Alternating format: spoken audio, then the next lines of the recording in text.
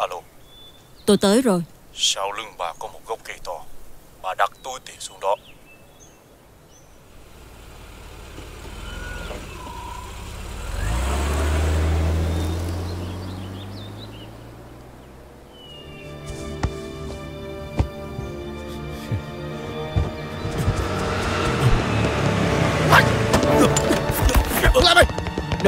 Làm cái gì vậy Là bà sao? Tôi sẽ cho cậu cơ hội cuối cùng. Nếu như cậu chịu nói ra mình là ai Tại sao cậu biết chuyện của 20 năm trước?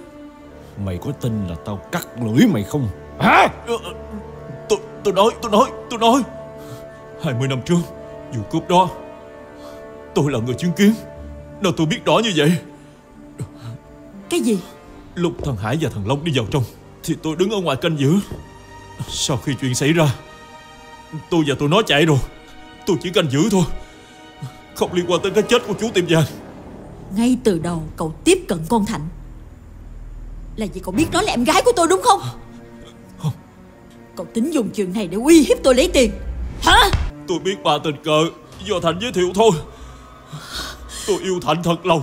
Tôi nghĩ chuyện đã qua 20 năm rồi.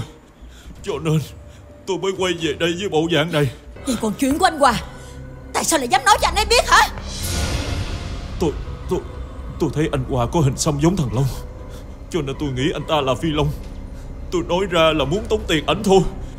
Nhưng mà không chỉ mình tôi nhắc về Phi Long đâu. Còn một người hay nhắc cho anh ấy nghe. Nên những gì anh ấy biết Chưa chắc là do tôi. Là ai? Nếu tôi đoán không nhầm Người biết rõ Phi Long như vậy Chỉ có thể là em của nó. Kim Long